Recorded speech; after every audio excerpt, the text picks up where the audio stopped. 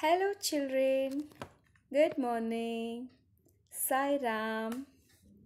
Welcome to Standard 4. Myself, Geeta Kannan, and I am your English teacher.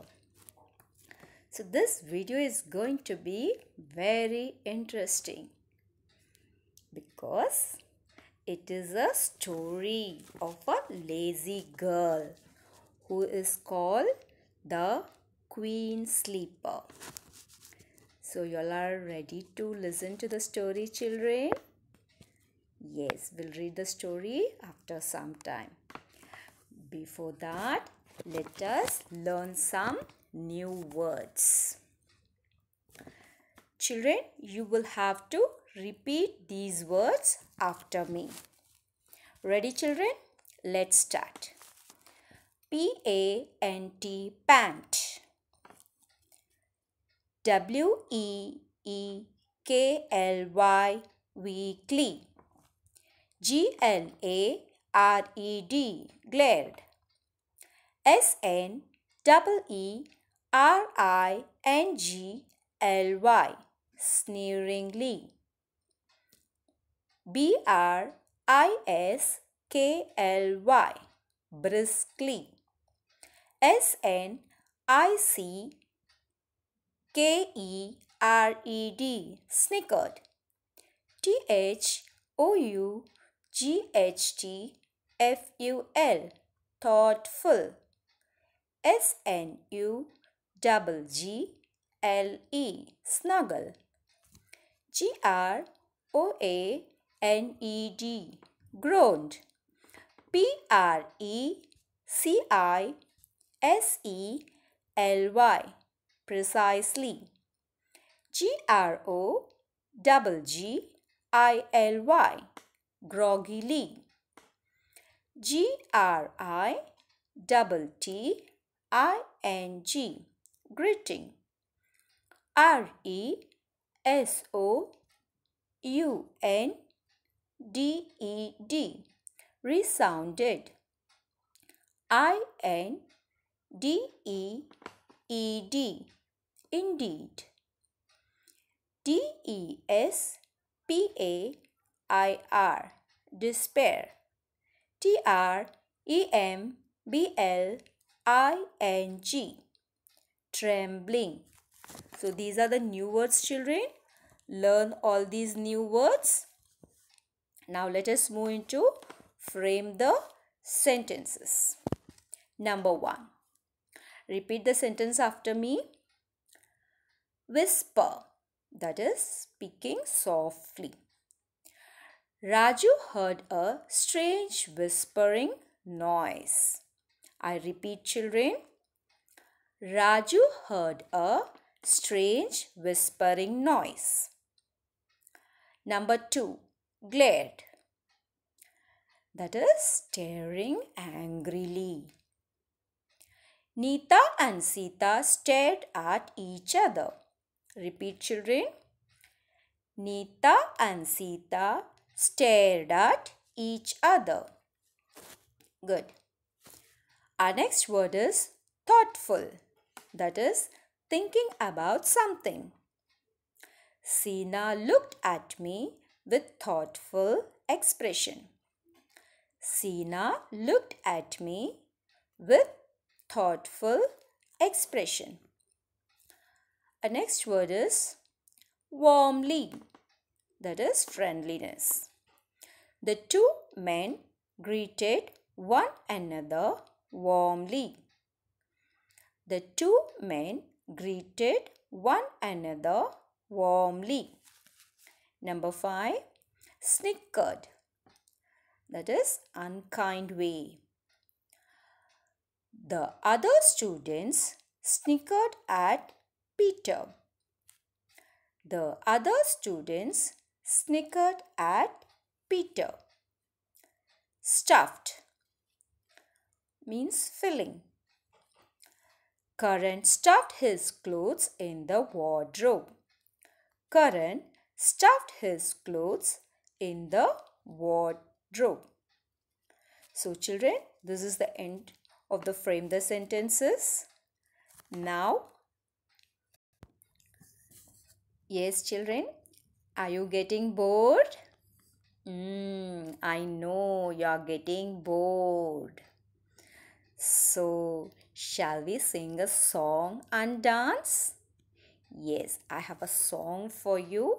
Let me click in this and listen to the song and follow the steps, children. So, are you ready? Yes, start. Follow the steps, children.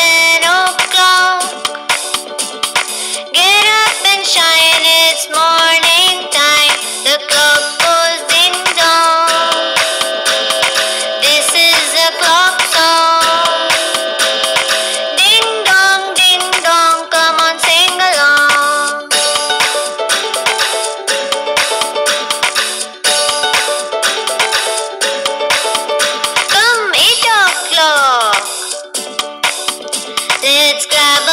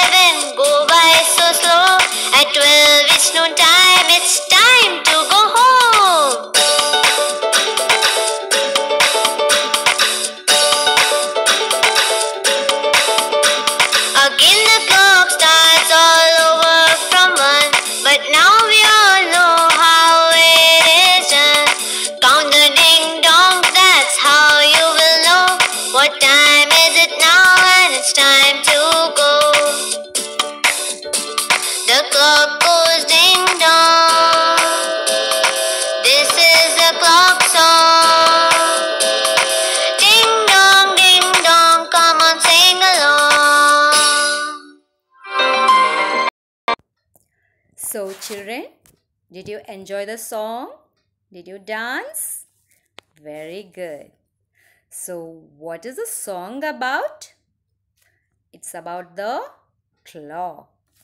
Yes. So, what did you understand from the song, children?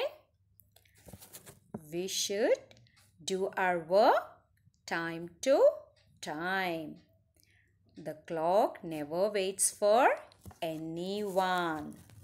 Good.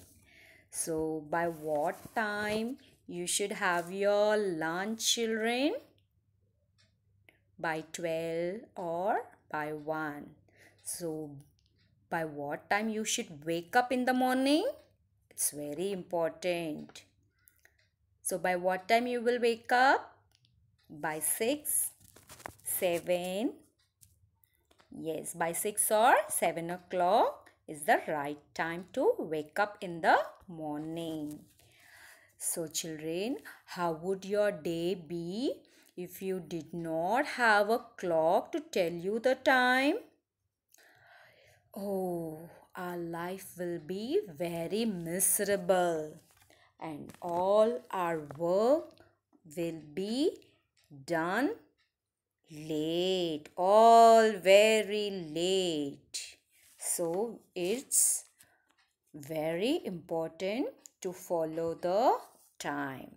So, children, in today's chapter, let us see what gift did Tina receive from her friend Deepa in lesson number 2 the new alarm clock. So let's move into the lesson children. These are the first page of the lesson.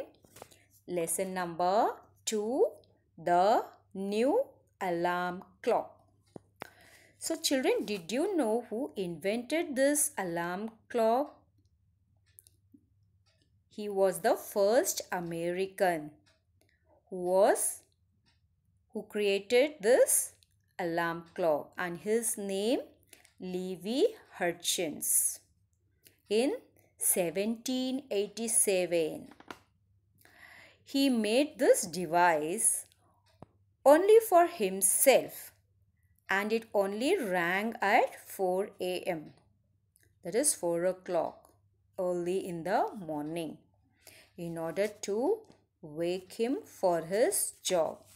So, do we use alarm clock? Yes, we also use alarm clock to wake up in the morning and do our work. So, let us go into the lesson children now. A whirlpool arrived with a whoosh. Tina was late for class yet again. Her hair was flying in all directions. Her bag hung loosely. With a huge pant, she announced that she had missed the school bus. Not again, Tina, said Miss Sudipta, our English teacher. Sorry, ma'am, Tina said meekly. Class, open your grammar textbooks. Tina sat down with a huff. As a special treat, I took out a paper with a Sudoku puzzle I had copied from the Hindu and placed it on her textbook. She smiled gratefully. After all, what are friends for? Deepa glared at me. Nice friend, aren't you? She whispered sneeringly. She looked at Tina. When are you going to make it to school early? Tina didn't answer. She briskly filled numbers in rows and columns. You have an alarm clock, right? Deepa asked Tina. What's the use?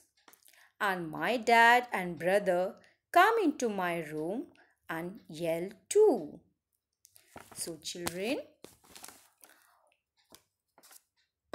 what was that girl name? Her name is Tina. And who was late to school? Tina was late to school. And why was Tina late? Because she didn't wake up in the morning.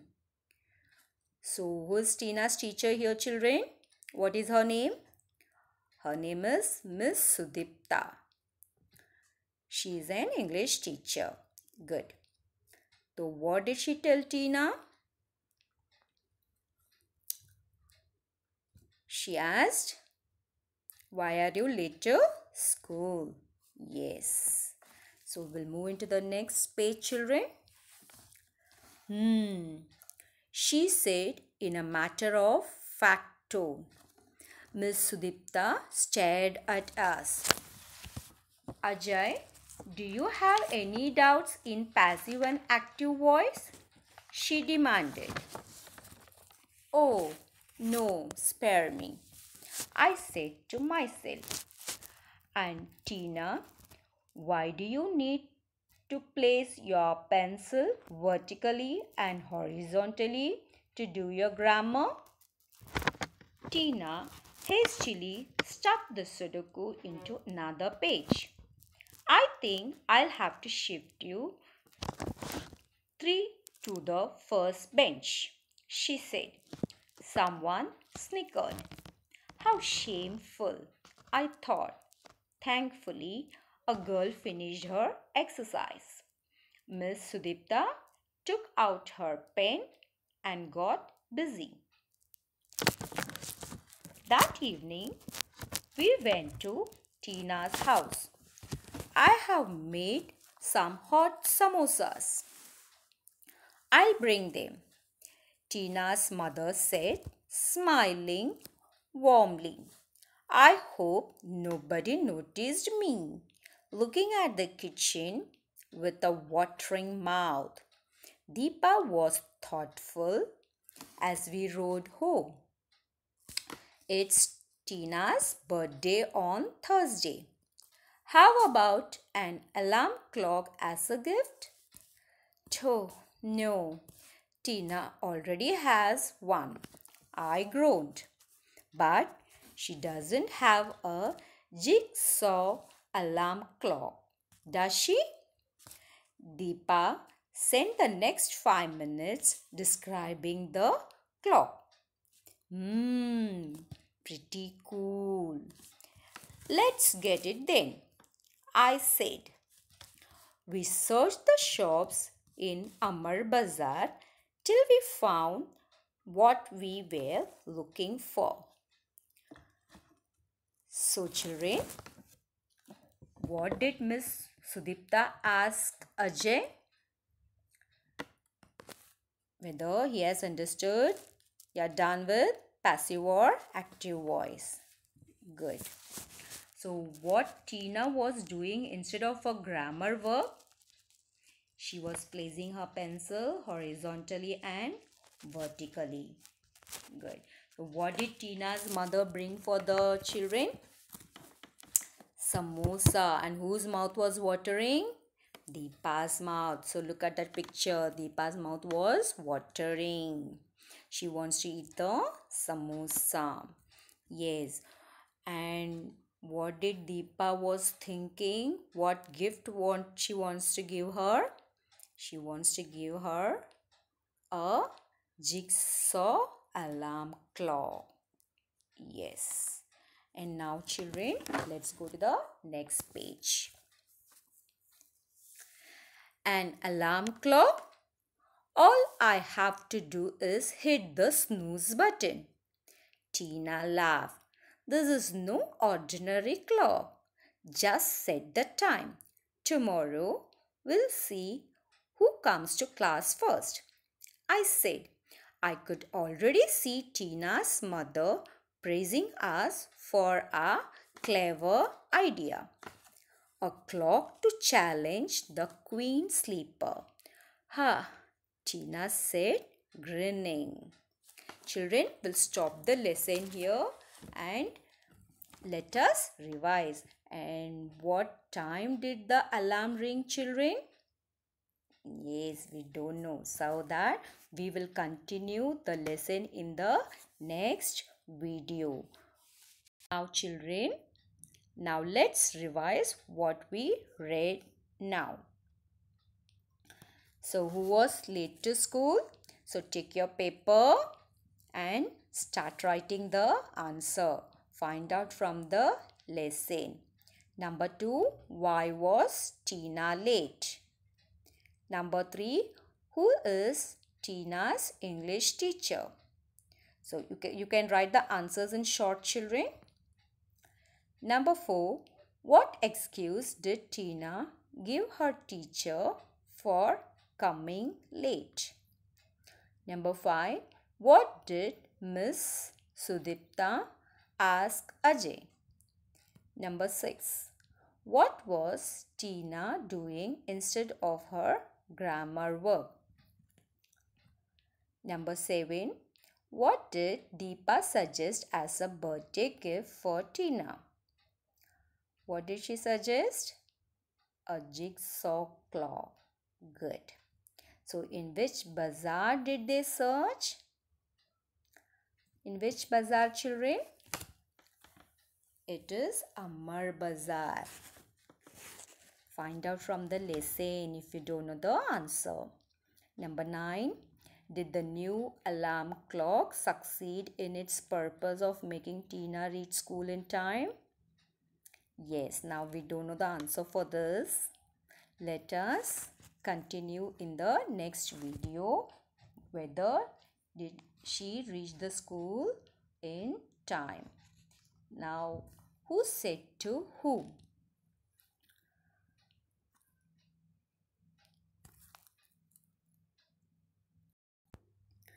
Now children, let's see who said to whom. Question number one, I have made hot samosas.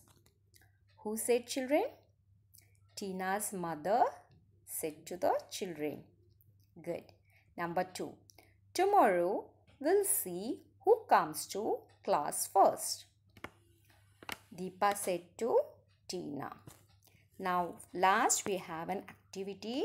It's an activity time, children. Find a homophone for each word given below. We have the same pronunciation with different meaning. So, example, the first one is done for you. Number one, pale, pale. Number two, flower. So, find out a word with the same pronunciation but different spellings. New and number 4 hair, number 5 knot, number 6 blue.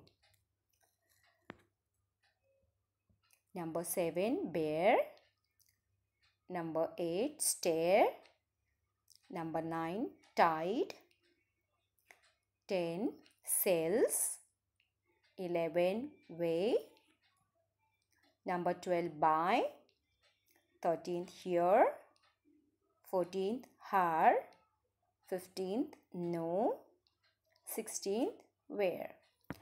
So find out the words and fill the answers children and submit in the online and we'll see you in the next video with the rest of the lesson. Bye children. Thank you.